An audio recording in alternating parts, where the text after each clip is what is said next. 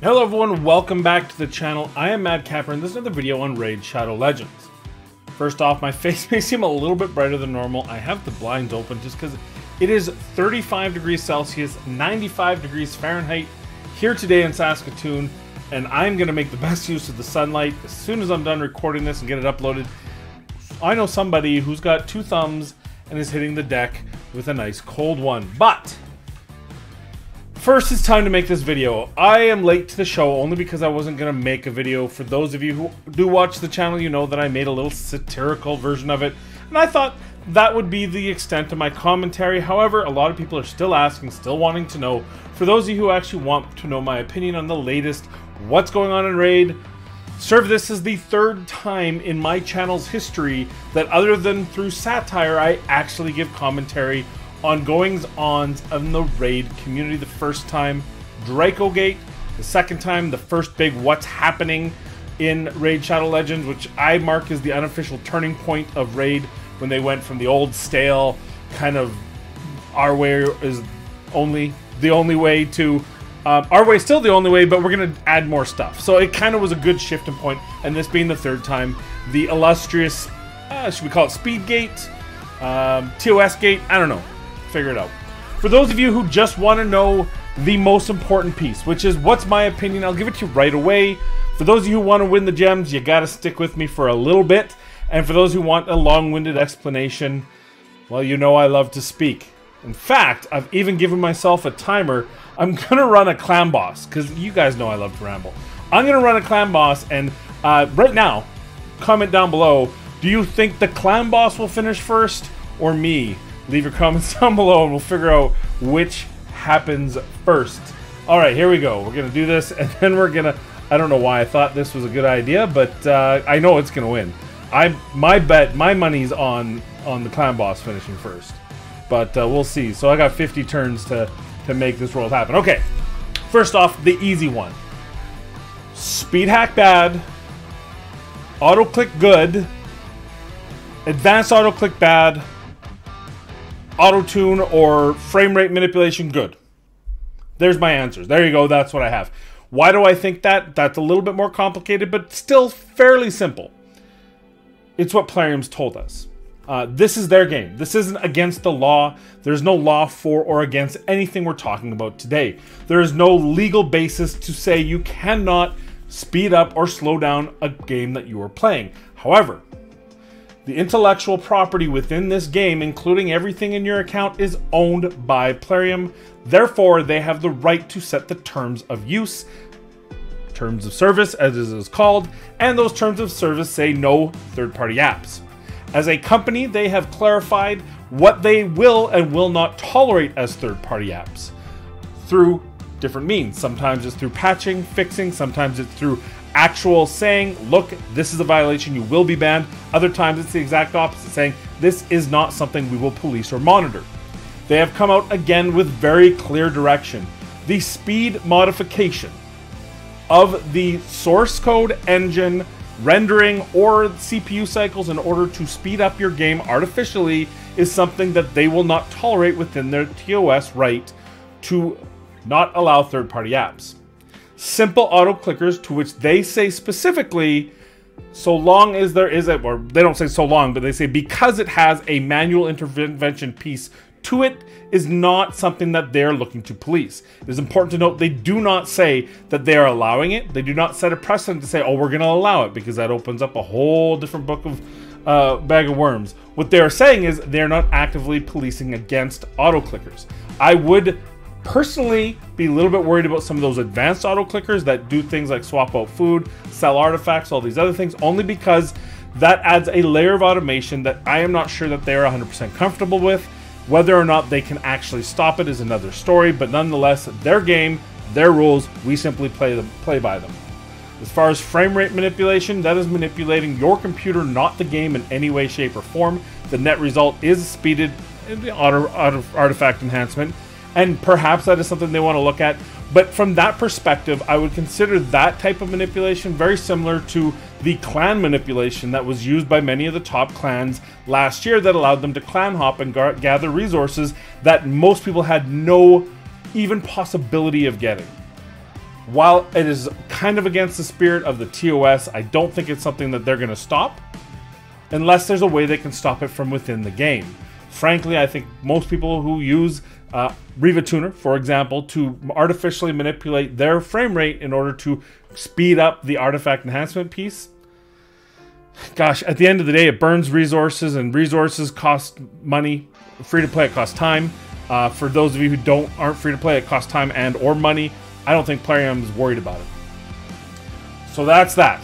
That is why I believe that because that's what it is. It's not because I'm a shill for the company. Though frankly, we're all shills for the company. All creative co content users are. We put together stuff that you watch so that you are more apt to play the game, better understand the game, have more enjoyment in the game, and guess what happens? That causes more of you to spend, more of you to play longer, both of which benefit Plarium. So let's just get that out of the way. There is no Robin Hood of the creator content program. Every creator, every creator, whether it's one viewer or 100,000 viewers, benefits through a symbiotic relationship with Plarium. So do not think that any single one of these are the anti-Plarium. You're confusing yourself and you're being lied to by yourself, just so we're aware. As for the actual issue, which was the speed hack and the BGE video, which led to the suspension of BGE and Stu. Here is a short-winded, yeah, right, I'm already at 15 turns, short-winded TLDR of speed hacks how it affects games, how it affects this game, what I think of what happened with BG and Stu. First off, speed hacks have been around forever. I am actually a little bit embarrassed that I didn't notice it earlier when I first saw the speed hack mentioned in Manible's Discord about a user not part of uh, Gods and Legends, uh, part of another clan that my understanding was also an employee. I don't know the I don't know the full story, but they showed that this person was a streamer they thought they ended their stream, they turned on their auto battles and their speed hack, and they were running at, at a faster time, roughly twice the speed. This was almost a year ago. This happened. To my mind, I thought it was a manipulation of clock cycles in order to achieve this, but it's a basic speed hack tool that's everywhere. And I, again, I'm embarrassed that I didn't clue in because I am a veteran of Counter Strike Source and Counter Strike 1.6 where this was rampant.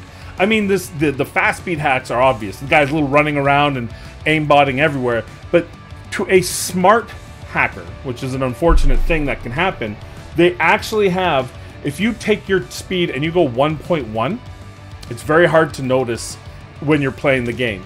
But that extra speed to someone who's already talented in the game can be the difference between winning and losing. And the funny thing is, is I used to be competitive, though not good, not high-end competitive, but just competitive we used to have a team and we came in fourth and actually were bumped up to third when one of the teams was banned because one of their users was actually using a speed hack to go just a nudge faster. So to me, it was dumb that I didn't figure out that that's that these were the same thing. So what a speed hack can do is there's very different ways to speed hack, but the end result is the same. It allows the computer to think that you're going faster than the than the actual application thinks you're going, which means you effectively do things in half the time, though in the actual engine itself, it's running at what it thinks is normal speed. And this allows you to do things faster. Whatever that faster speed is, most you can manipulate yourself. Some are automated to two times in some applications, but in the Raid Shadow Legend ones, you can set that to whatever you want. Plarium's response back then was nothing vocal. They didn't tell anyone. They didn't tell the content creators. They didn't tell the people who had uh, who had reported this. They just silently put something in that if you ran it too fast, you would get kicked out, and that run would not count if you did it too often. There was the risk that you would get banned. Now, I have seen screenshots of people being banned for cheating. I don't know if that's directly related to this. There's no data that specifically says, oh, I guarantee you this is why, because of the speed hack. It could be for any other sort of manipulative tool that is trying to mess with the game. I did see another hack out there that had a whole bunch of other things it could supposedly do, like figure out shards in a way that you can manipulate your shard pulls. There was a bunch of different things I had heard about an older tool a year ago. So whether or not this speed hack is directly related to any bans, I have to say maybe, but I don't personally know, and I would think that unless Plarium comes out and says it, and with proof, which they never will, you can just assume that it's probably something on their list to ban, but whether or not they have, you don't know. With that said, do I think that speed hacks should be allowed in the game? Nope. Do I think that uh, auto clickers should be? Yep. for the same reason as I said before, TOS uh, and Plarium's allowing it, and that is what we are allowed to do. Now, on to Stu and BGE. So what happened in the last three, four days is BGE put out a video, which if you've watched this video from start to finish with an open mind and actually listening to what he's saying, there are a few things that have been whitewashed by either side. Okay? Number one, BGE specifically stated he believes that this is not good for the game. He believes that it is a hack, and he showed it on an alternate account, an account that had been given to him. It wasn't his own account, because he felt that this is a bannable thing. He felt like this shouldn't be in the game. He said right from the start and throughout the video, look, this needs to be de dealt with. It shouldn't be in the game. In his mind, this was something new. He was scared about its potential and its results on ruining the game, and therefore he put the video out. What he did wrong, in my opinion, is he showed people specifically how to find and install the tool. That was where he crossed the line. And that was where most content creators, when he himself posted a link to it in the content creator chat, most I'd say about 70% went down that line. Hey, look, glad you brought this to our attention. Some were like, mm, that's old. Others were like, wow, I never knew about this. But everyone pretty much was saying, hey, look, probably should take that down. You're a little bit too specific to which he was defending, and I think it's he didn't understand. People were saying, "Look, revise the video. Just say, look, I, I, you guys don't don't use this. I'm sorry I gave you guys specific instructions, but I, I'm not going to change how I feel about making it known to everyone, and that's fine. Those are the two sides of his story. Stu doubled down. He actually used it on stream to show what the double speed can do. The result of this within 24 hours of both of them have been suspended for 30 days pending review. Actually, I should say suspended indefinitely with review after 30 days is actually more accurate. It didn't say there would be an automatic reinstatement to the content creator program after 30 days. What it said is they are suspended indefinitely pending review after 30 days as to whether or not they'll be allowed back in. They also then put a community post out that basically said these tools we do have a tool that sort of checks it, but it's not as fine-tuned because we're worried about unfairly banning people. Though they did talk about speeds that were legitimately faster, which made no sense to me because in-game times are irrelevant. It's the in-game versus the external game that's relevant. So maybe an old computer or or other reasons. I got a lot of programs going on might might manipulate the data, but we're not talking 30% faster in campaigns where it could go from 9 seconds to 7 seconds. We're talking clan boss run 35 turns, dear God. Clan boss runs, which are 20 minutes, that could go down to 10 minutes. That's a very significant difference. Even if they did it at 1.5 speed, it's still a significant timestamp that you could actually look for. That said, they put it out, said, hey, look, we're, we're developing this tool. We've been developing it. We're going to look at going further with it. Expect to be banned if you're using this. And just so you know, if you have been using it and you think that you're going to use it up until we say, hey, the tool's ready, which we're not going to do, you will be banned. There's where we are. Uh, do I think Stu and BG should have been suspended? Yes. Uh, I do support both of them. I like their content. I love. I mean, I'm in Stu's Twitch stream pretty much every day. But it was a break of our terms of service in the content creator program. It specifically says not to do this, not to uh, willfully engage in harmful practices such as cheating or hacking and show it to the GQ public. So, frankly, um, that is a consequence that you're going to get. Whether you think you were doing it for the greater good or not, it specifically stated the the consequence of doing such things, and it's been hit. Uh, do I appreciate BGE's intent and Stu's, uh, uh, you know, I guess, uh, I'm trying to think of tenacity or what, I don't even know the word I'm looking for. The fact that he went as far as he did, I do appreciate that because what it did is it forced Plarium's hand. And I have found time and time again that unless you force their hand, they don't do things. Now, some content creators argue that that is not our responsibility. But if it is our responsibility to weigh judgment on BGE and Stu, which many have, then it's also our our responsibility or or want, right, to pass judgment on Plarium. And I think Plarium needs to address these sort of things sooner rather than later. They ruin the game, and that's it's not good for them. It's not good for their bottom line. It's not good for us. So there we are in that. I do want to put one last thing out. First off, this affects 0.1% of the entire gaming population. Now you may be saying, but but Capper, speed hacks are going to ruin everyone's game. They're not. Uh, oh, they're going to ruin tournaments. They're not. The number one deciding factor in tournaments is still money. Now, if two people with the same amount of money go head to head, yes, one will win, one will lose. 100% based on a speed hack. For example, let's take Murder and Stu. They both have, we'll say, unlimited resources. They both have as much money as they want to spend in the game. That may be zero, that may be a million dollars, none of our business. But they don't seem to have any qualms about putting money when they want to. If they were going after, say, Draco, which is the current uh, top three prize in global, one's using the speed hack, the other isn't. So with all other factors equal, if Murder was using the speed hack and Stu wasn't, Murder's gonna win because they have the same energy, the same resources, similar computers. The only difference is the ability for one to do it faster. That said, how many people are actually vying for global prizes? Tournaments within the smaller computer Fane.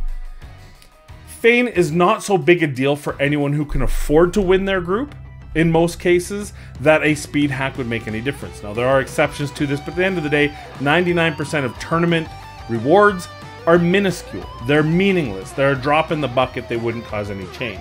That doesn't mean I think that the speed hack should be allowed or ignored. I'm simply saying the feigned indignation that a lot of people are giving about these veracity of these cheaters and how it's ruining the game is ridiculous because for 99.9% of you, it's irrelevant 99.999% of the time. Also, do not be dissuaded by content creators. We fool you, we lie to you, we make you think it's important because guess what? That's what sells views, and views make us money. I don't make a lot of money on my channel, but I make enough that I can spend a little bit of money each month in Raid Shadow Legends, and the money I make on Twitch and on uh, YouTube directly goes into a coffer that I use to spend every month on this game. Without it, I would not be able to do as much content. So definitely I want more views. And I am a small fly in the in the vast Plarium uh, Raid Shadow Legends community. Think of the larger community people, such as HellHades. It won, so over under. I'm over. It's under. Son of a gun. Anyway, the point being is, look, there are going to be videos out there telling you how this is a tragedy and how it's awful and can you believe it. Don't buy the hype. Either side, don't care. Don't buy the hype. Don't go because you know there's opposing you know opposing opinions between say BG and Murder Inc.